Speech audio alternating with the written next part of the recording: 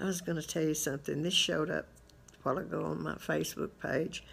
One day, a man named Truth and a man named Lie stood by a river just outside of town. They were twin brothers. Lie challenged Truth to a race, claiming he could swim across the river faster than Truth. Lie laid out the rules of the challenge, stating that both must remove all their clothes, the count of three, dive into the freezing water, swim to the other side, and back. Lie counted to three, but when Truth jumped in, Lie did not. As Truth swam across the river, Lie put on Truth's clothes and walked back to town dressed as Truth. He proudly paraded around town pretending to be Truth. Truth made it back to the shore.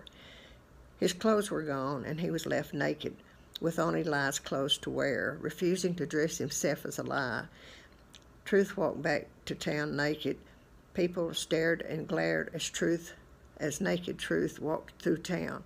He tried to explain what had happened and that he was in fact Truth, but because he was naked and it was uncomfortable to look at, people mocked him and shunned him, refusing to believe he was really Truth.